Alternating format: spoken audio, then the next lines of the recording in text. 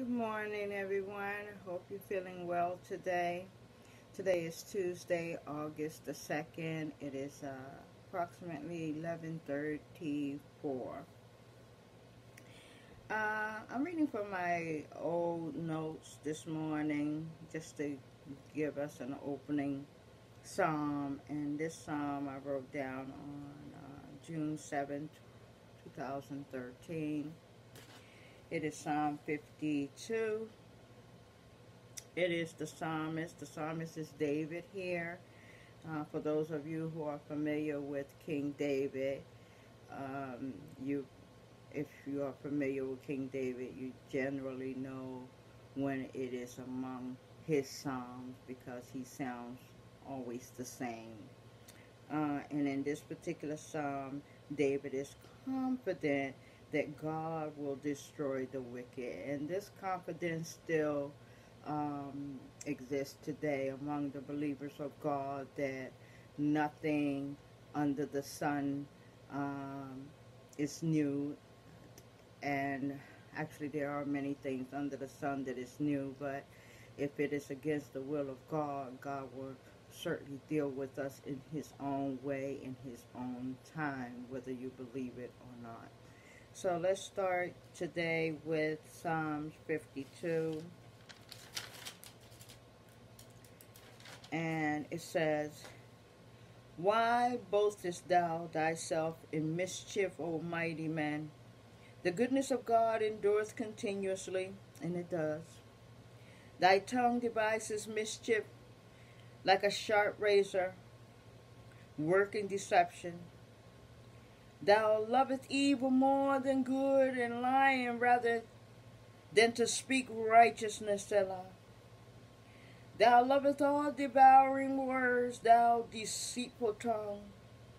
God shall likewise destroy thee forever.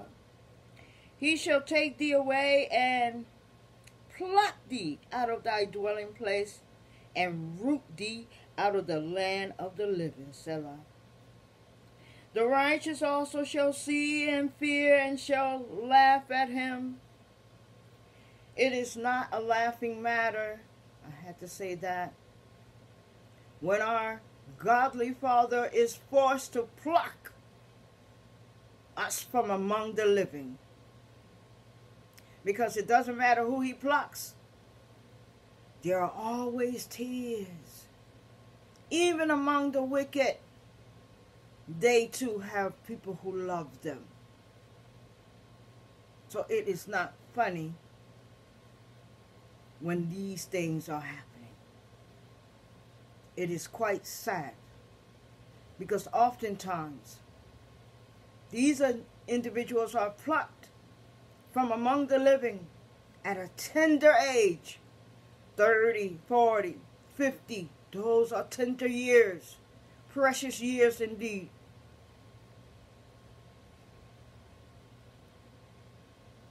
And the worst thing in our days now is when we pluck the innocent child from the womb of his mother. The righteous shall see and fear and shall laugh at him. Lo, this is the man.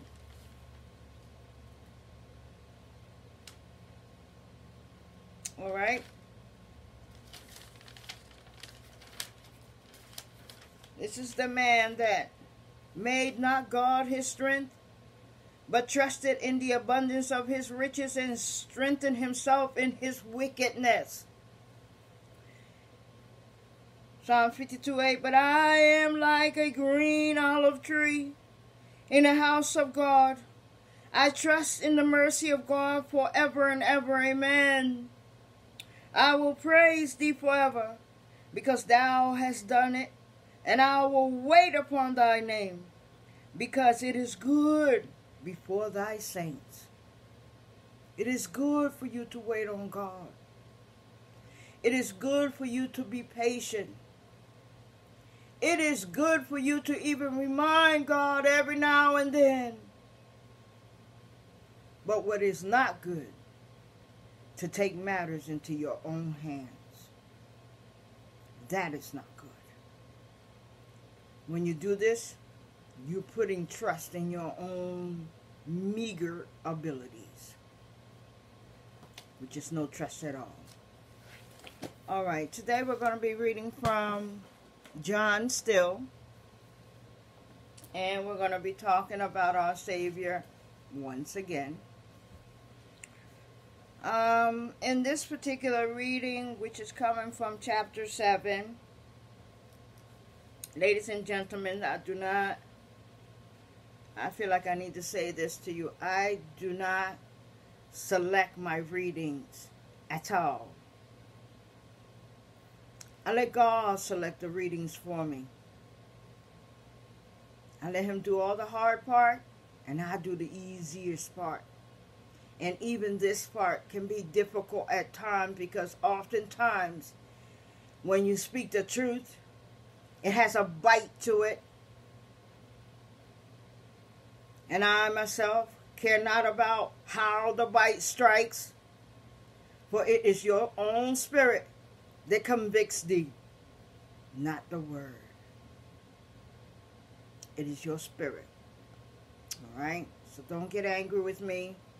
Don't get angry with my God over his words because they are the truth. All right. In chapter 7 of John, it talks about Jesus' brother's disbelief. This was common knowledge that James thought his brother was a lunatic. He didn't think much a, about Jesus Christ at all even though he was hearing about all these miracles and wondrous works that was done by the hand of Christ, none of that convinced James at all. James became convinced at the cross.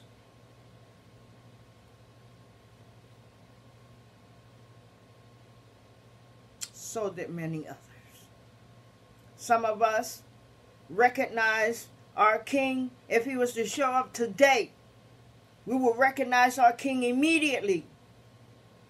The other half, or three fourths of the world, would think it was Halloween time with special effects. Let's read about this. And in this particular chapter, it talks about James. It talks about the heavenly scholar. There's only one it talks about the could bees, could be Christ. It talks about Jesus and the religious leaders who recognized him not, and those few that did recognize him, like Nicodemus, would come to his Lord in the night hours to ask him questions. It also talks about the promise of the Holy Spirit. It gives you more detailed information about who Christ is. And it talks about being rejected by the authorities. It has a lot of information in this particular reading. And because it's such a long reading, we will not consume it all in one bite. All right, we will do the first 25 today. If the Lord is willing and I shall live, we will do the remaining the next time. Let's begin, shall we? Jesus' brother disbelief. After these things, Jesus walked in Galilee, for he did not want to walk in Judea, because the Jews sought to kill him. Now, this man did nothing wrong at all he went around rebuking demons out of people. He went around calling them back to life from the cave. He went around wakening up young girls. He went around doing good. But yet, the only thing the people on earth wanted to do was destroy him for the good that he did. But today, for the wickedness that the people do today, what do they ask for? Mercy. For the wicked you ask for mercy.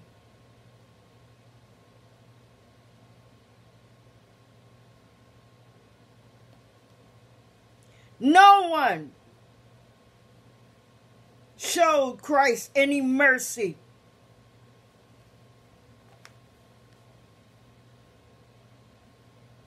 Now the Jews' feast of the tabernacle was at hand. His brother therefore said to him, Depart from here and go into Judea, that your disciples may also see the works that you are doing. He's an arrogant soul at this point.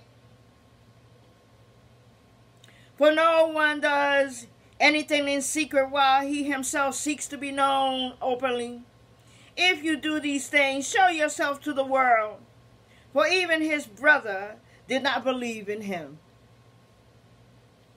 Then Jesus said to them, and these are in red print, these are the words of our Lord. I am simply reading them to you.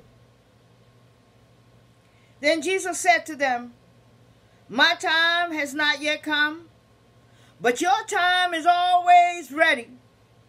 The world cannot hate you, but it will hate me because I testify of it that its works are evil. So anytime you point out to the world that their conduct, their lifestyle, their mindset is evil, you will not be liked at all. For the truth is not sought after today. Deception is. Wickedness is. When does a servant of the Lord need to wear a $400,000 chain? When?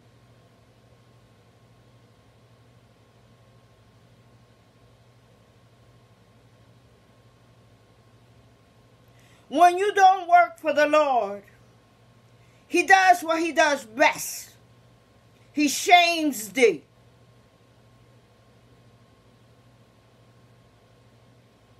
In the presence of the congregation.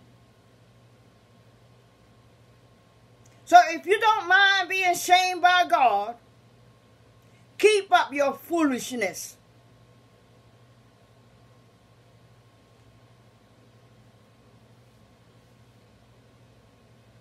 My time has not yet come, but your time is always ready. The world cannot hate you but it hates me because I testify of that its works are evil. You go up to this feast. I am not yet going up to this feast, for my time has not yet fully come. When he had said these things to them, he remained in Galilee. In the same way that God marshals your steps, he marshaled the steps of his son. the heavenly scholar. But when his brother had gone up, then he also went up to the feast, not openly, but as it were in secret. Then the Jews sought him in the feast and said, Where is he? And there were much complaining among the people concerning him. Some said, He is good. Others said, No, on the contrary, he deceives the people. However, no one spoke openly of him for fear of the Jews. Yes, there were many who knew who he was, who believed in what he was. And if they would have tried to touch Christ before his time, the riot that would have happened would have been of biblical proportions.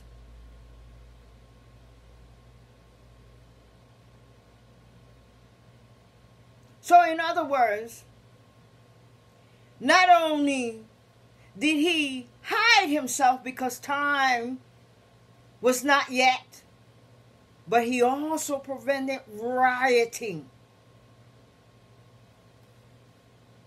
Now, about the middle of the feast, Jesus went up into the temple and taught, and the Jews marveled, saying, How does this man know letters, having never studied?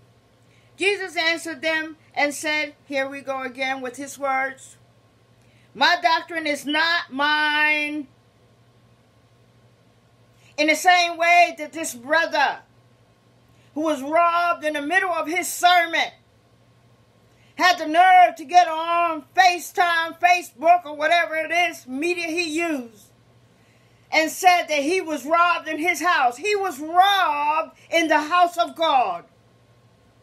Those houses do not belong to us, they belong to God. Your house is the one you sleep in. Every church on this earth belongs to Christ and his Father. Period. Jesus answered and said to them, My doctrine is not mine, but his who sent me. If anyone will do his will, he shall know concerning the doctrines. You will be fully familiar with the doctrines of God.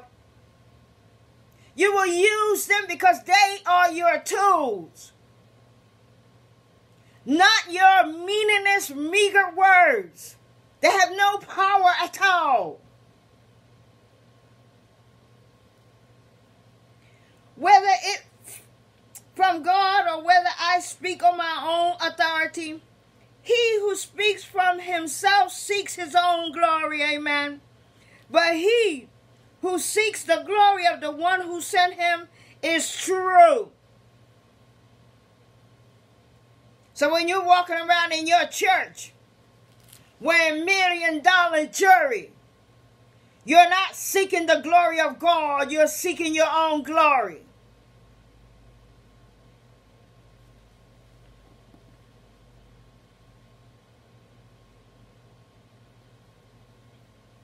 And no unrighteousness is in him at all.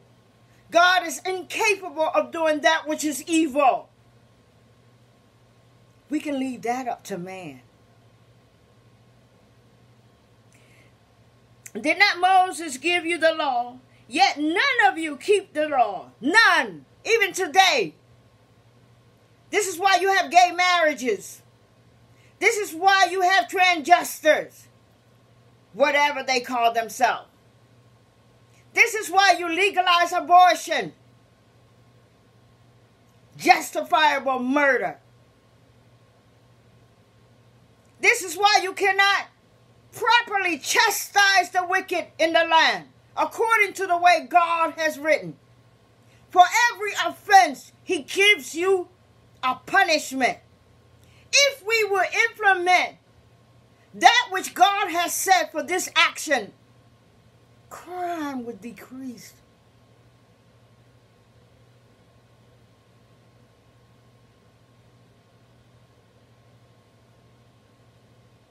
But God is working on it. That's why Wade versus Roe, Roe, whatever that law is, is no longer in existence. Don't blame the judges or the Supreme Court. If you want to know why, just look up. God has done this thing and he's not finished yet. Did not Moses give you the law? Yet none of you keep the law. Why do you seek to kill me?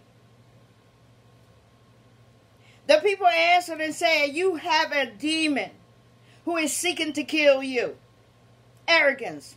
Jesus answered and said to them again, red lettering, I did one work and you all marvel. Moses therefore gave you circumcision that is not that it is from Moses, but from the Father. And you circumcise a man on the Sabbath. If a man receives circumcision on the Sabbath, so that the law of the Mo- of Moses shall not be broken, are you angry with me because I made a man completely well on the Sabbath? How backwards is that?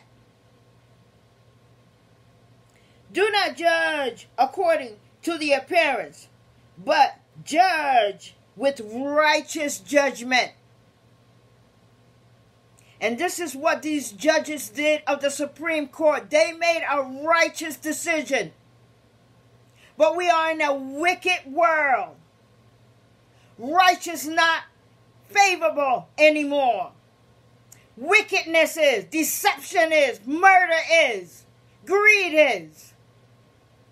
But this world does not belong to us, brothers and sisters. Let me remind you that we are just pilgrims here for a little while.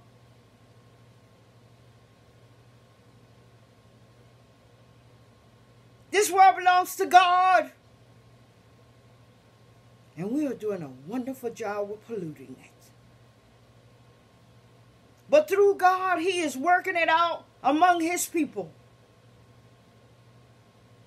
So stop blaming this person and that. Blame the one who makes things happen on this earth. If you have the nerve.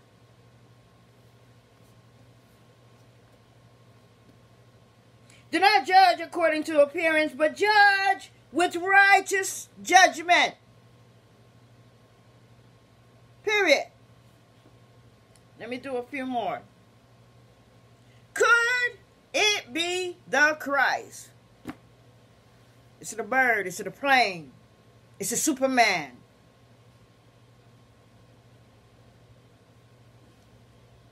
Now, some of them from Jerusalem said, Is this is not he whom we seek to kill? But look, he speaks boldly, and they say nothing to him. Do the rulers know indeed that this is truly the Christ? However, we know where this man is from. Yeah, we know. We know his father is Joseph. We know his mother is Mary. He lives next door to us. Sometimes we can know too much and know nothing at all. Even in the biblical time, this, men, this mentality existed. And it's even worse today. Total confusion.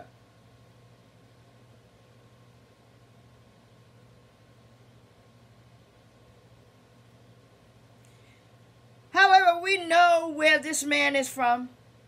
But when the Christ comes, no one knows where he is from. Then Jesus cried out as he taught in the temple, saying, You both know me, and you know where I am from. And I have not come of myself, but he who sent me is true, whom you do not know. But I know him, for I am from him, and he sent me, period. That was the truth. The same man that spoke these red words will one day make his second appearance.